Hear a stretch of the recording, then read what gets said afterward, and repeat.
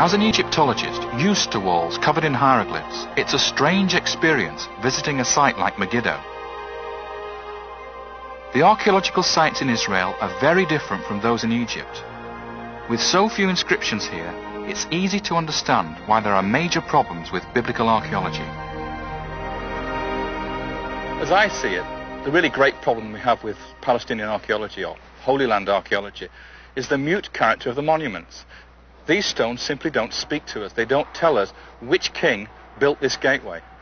Now, if this was an Egyptian monument, it would be covered from top to bottom in hieroglyphs, naming the king, recording particular events in the king's reign. Very easy to date. But here we have no such information.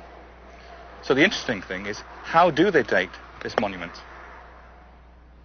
Well, ironically enough, they actually used Egyptian objects inscribed with the names of pharaohs to date whole strata here, whole occupation levels, and monuments. So if I'm going to change Egyptian dates, doesn't that mean everything else has to change here? Let's see how this works. Traditionally, Solomon has been placed in the Iron Age, around 970 BC, and Ramesses II in the Late Bronze Age, around 1280 BC, centuries before Solomon's time.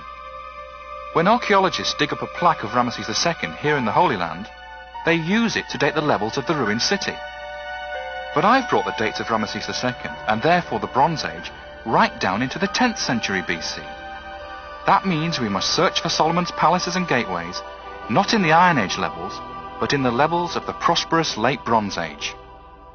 The kingdoms of Israel, particularly that of Solomon, are generally regarded as having occurred in the early part of the Iron Age um, David would ask people to regard Solomon in the late Bronze Age. That is going to be difficult for most traditionalists to accept. But if you look at the biblical account of the kingdom of Solomon, he is an international figure. The material culture and archaeology of the early Iron Age does not support this cosmopolitan international picture. If you look at Solomon through the lens of the late Bronze Age and look at the archaeology from there, you see an Israel that is really cosmopolitan, really international, and the story or the history of Solomon as we know it better fits the late Bronze Age material culture than it does the early Iron Age. And so I think that is one of David's most persuasive arguments.